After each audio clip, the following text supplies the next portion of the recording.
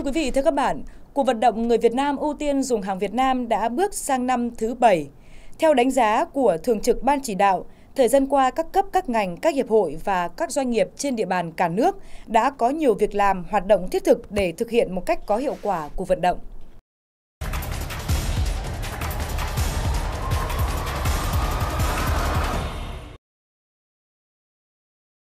Theo đánh giá của vụ thị trường trong nước Bộ Công Thương, đến nay các mặt hàng do các doanh nghiệp sản xuất trong nước ngày càng được đánh giá cao về chất lượng. Các mặt hàng tiêu dùng thiết yếu đã ngày càng chiếm tỷ lệ cao trong hệ thống phân phối của các doanh nghiệp trong và ngoài nước. Việc xây dựng các mối liên kết giữa các hiệp hội của các doanh nghiệp để phát triển thị trường ngày càng được chú trọng. Trong vai trò của mình, các hiệp hội cũng đã thực hiện tốt về việc tuyên truyền vận động các doanh nghiệp hội viên nhận thức vai trò, trách nhiệm trong việc nâng cao chất lượng, sức cạnh tranh của sản phẩm hàng hóa, dịch vụ, tuân thủ các quy định pháp luật về vệ sinh an toàn thực phẩm, nhãn mác hàng hóa, thực hiện đầy đủ các cam kết bảo vệ quyền lợi người tiêu dùng, tuyên truyền vận động các doanh nghiệp phân phối tăng tỷ lệ bán hàng Việt, phục vụ nhu cầu mua sắm của nhân dân. Cuộc vận động người Việt Nam ưu tiên dùng hàng Việt Nam thì uh, có thứ nhất là làm sao nâng cao hơn nữa cái năng lực của hàng hóa Việt Nam. Thứ hai nữa là nâng cao cái nhận thức của người tiêu dùng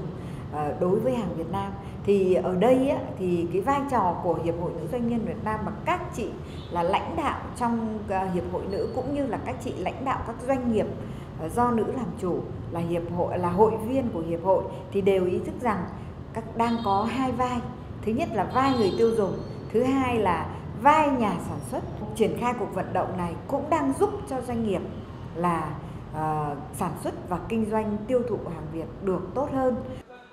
Hiệp hội Nữ Doanh nhân Việt Nam trong thời gian qua đã triển khai nhiều chương trình gắn với cuộc vận động người Việt Nam ưu tiên dùng hàng Việt Nam. Nhờ đó đã giúp các doanh nghiệp trong hiệp hội tiêu thụ được sản phẩm và trở thành thị trường của nhau. Tại Hiệp hội Nữ Doanh nhân tỉnh Vĩnh Phúc, ngoài việc phát triển hội viên và xây dựng công tác hội, thì một trong những hoạt động quan trọng của hội là đẩy mạnh cuộc vận động người Việt Nam ưu tiên dùng hàng Việt Nam, xây dựng các chương trình liên kết giữa các thành viên trong hiệp hội. Chúng tôi cũng đã có những cái mặt hàng sản xuất của các chị em nữ doanh nhân Vĩnh Phúc kết nối với là Yên Bái, Hà Nội và Bắc Giang và trong quá trình đó và một số các tỉnh khác. Và cũng chính từ cái kết nối giao thương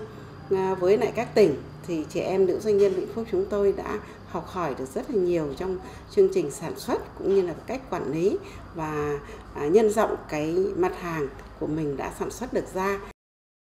để sản phẩm của các hội viên vươn xa rộng khắp trong toàn tỉnh, ban lãnh đạo hiệp hội đã kết hợp với Hội Liên hiệp Phụ nữ tỉnh xây dựng các chương trình thúc đẩy mở rộng mạng lưới phân phối ở thị trường trong nước và các địa phương bằng cách kết hợp với Sở Công Thương đưa hàng Việt do các hội viên sản xuất về nông thôn, vùng sâu, vùng xa thông qua các phiên chợ hàng Việt. Bên cạnh đó, các chương trình giao thương, các buổi kết nối được hiệp hội tổ chức đã tạo ra cơ hội cho các doanh nghiệp trong và ngoài hiệp hội tìm hiểu nhu cầu mua sắm của người tiêu dùng từ đó, các doanh nghiệp có định hướng sản xuất những mặt hàng có chất lượng, có mức giá hợp lý và phù hợp với thị hiếu của thị trường. Từ khi tôi tham gia vào Hiệp hội Nữ Doanh nhân tỉnh Phúc,